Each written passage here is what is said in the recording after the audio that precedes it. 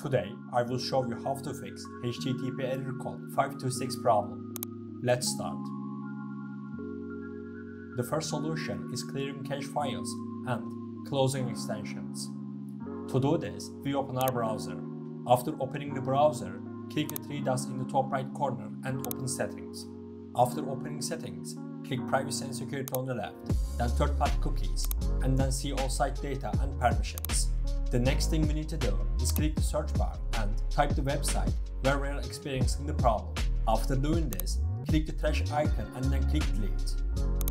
We have clicked the cache files. To disable extensions, click extensions on the left. After clicking extensions, we disable our extensions. And We have turned off our extensions. Now, you can check if the problem is solved or not. Also, don't forget to like the video. If the problem is not solved, we will move on to the second solution. The second solution is using a VPN. If the problem we are experiencing is regional, changing our location with a VPN will solve the problem.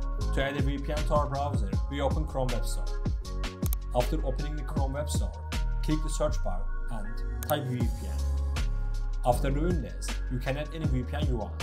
If you already have a VPN program like I do, you can connect to it.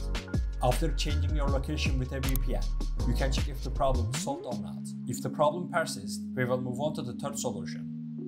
The third solution is changing browser. If the problem is caused by your browser, changing it will solve the problem. As an alternative to Chrome, you can use Opera, Firefox or Brave. After changing your browser, you can check whether the problem is solved or not. We have come to the end of the video. I hope one of these solutions fixed your problem. If the video helped you, don't forget to like the video. You can also subscribe to my channel to support me. Take care and see you in the next video.